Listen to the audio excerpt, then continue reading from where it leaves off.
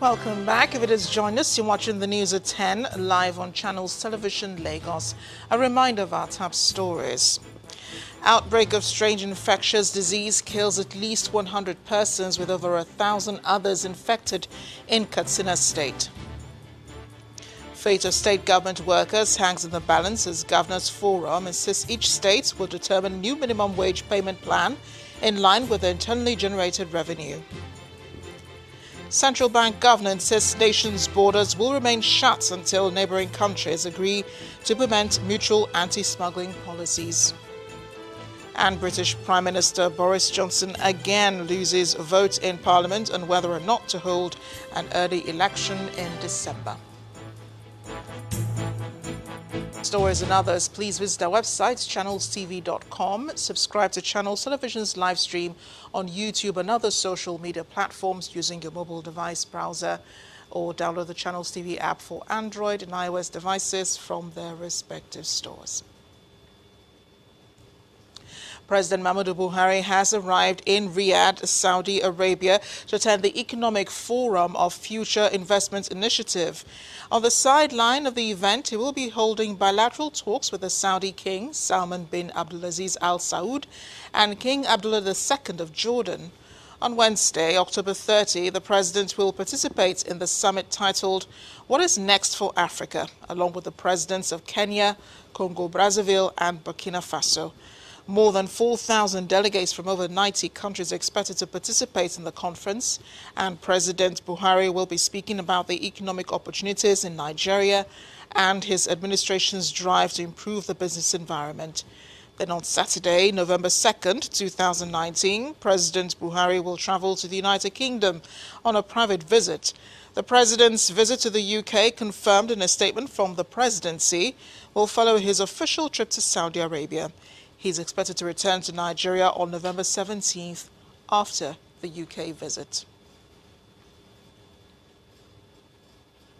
And I toss it over now to Ibrahim Adra in Abuja for more on the news at 10. Hi, Ibrahim. Hi, Amarachi. Good to see you. Let's start from the judiciary. The Supreme Court has again struck out an appeal filed by the Hope Democratic Party HDP and its presidential candidate Ambrose Owuru challenging the declaration of President Muhammadu Buhari as winner of the February 23rd presidential election. The Apex Court struck out the appeal following the withdrawal of an application praying for restoration of the appeal to be heard afresh. Mr. Owuru and the HDP had sought for leave of the court to allow them bring back their appeal which had been struck out due to the filing of two notices of appeal in respect of one matter, which is against the provisions of the law. When the matter came up today, the court's panel, led by Justice Olukayode Ariwoola, drew the attention of the counsel to the appellants to Section 285, subsection 7 of the 1999 Constitution, and was asked whether the appeal had not been become statute barred. Although the counsel initially insisted the appeal could still be heard, he, however, made a U-turn and applied for the withdrawal of the application. In a short ruling, Justice Olukayode Ariwoola struck out the application. Now let's move to Edo State, where 14 members elect of the Edo State House of Assembly who are yet to be sworn in are asking President Muhammadu Buhari to fulfill his promise of resolving the legislative impasse in the state. Lawmakers note that the time to act is now as they allege that the state governor, Mr. Godwin Obaseki, has crossed the red line. The spokesman of the group, Mr. Washington Osifo, says there is an urgent need for President Buhari's intervention in order to avert a breakdown of law and order.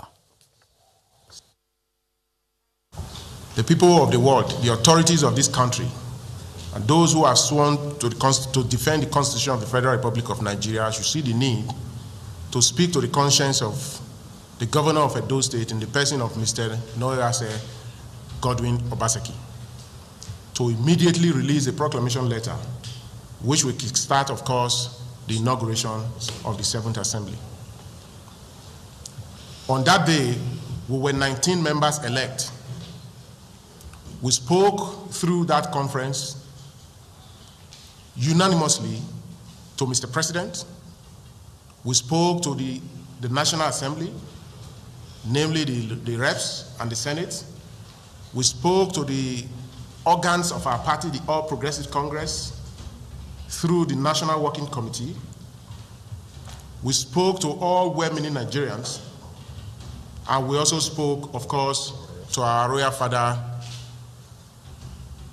Oba Ewuare II.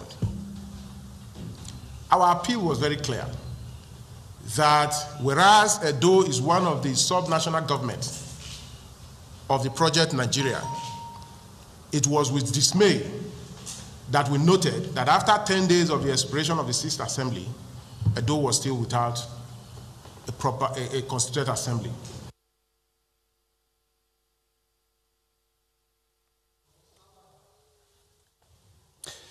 The Vice President, Professor Yemi Osinbajo, has been speaking on the benefit of recruiting police in local areas as a means of curbing crime.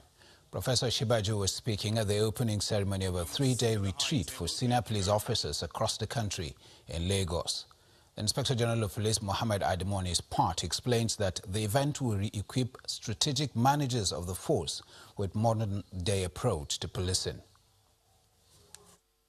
Furthermore, our efforts in embracing community policing as a national security strategy is also informed by the need to close the trust gap between the police and the citizens and build partnerships and strengthen the collaboration with communities towards addressing prevalent security threats.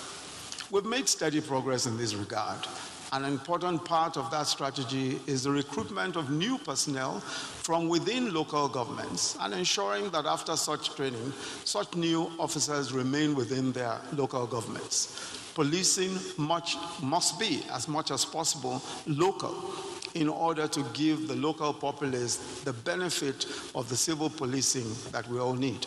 The idea of this retreat is therefore in furtherance to our policing vision, which emphasizes capacity building as a pathway to enhancing effective police service delivery in the country. We firmly believe that with the constant engagement of strategic managers and constant training and retraining of personnel of the force across all ranks, the expectation of the federal government and indeed the nation at large for a police force that is knowledge driven, rule of law guided, community oriented, technology compliant, and intelligence led shall be achieved.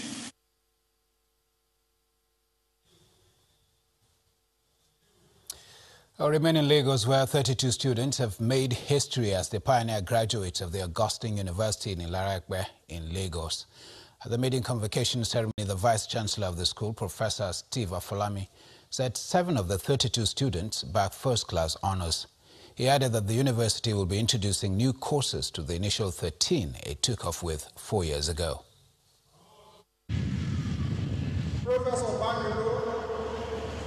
Senior members of the academia, graduating students of Augustine University Ilara in Lagos, their family members, as well as friends, gather for the university's first convocation since its establishment four years ago. Our academic programs were 13 at the beginning general approval, like institutional accreditation, which was done in July 2018, have secured Augustine University the permanent, the permanent license to run the university in perpetuity. The maiden convocation lecture is delivered by Professor Olugbenga Adedeji on behalf of the former Vice Chancellor of the University of Ibadan, Professor Olufemi Bamiro, with special focus on the challenges of producing employable graduates in a depressed economy. Too much emphasis on theoretical education than exposure to entrepreneurship and entrepreneurial skills. Quality and focus of training offered by the university, not in tune with the needs of society. Having completed the Bachelor of Science program in economics. Augustine University, Lara is churning out 32 graduates, with seven of them graduating with first class honors. Was really stressful, but later on interesting and educating because we had this very close teacher student experience. Because we were little, the teachers had our time. For a school with a humble beginning, the chairman of the Board of Trustees says the maiden convocation ceremony is gratifying. The period of work, almost 10 years, to get to where we are today, I feel very fulfilled. Uh, coming in here and seeing these students graduate with all kinds of grades, first class, second class, and all that. And it also emboldens me to look more into the future. The establishment of Augustine University Ilara by Catholic Archdiocese of Lagos was approved by the National Universities Commission in 2015 to uphold the noble tradition of Catholic higher education of achieving intellectual, cultural, and moral excellence.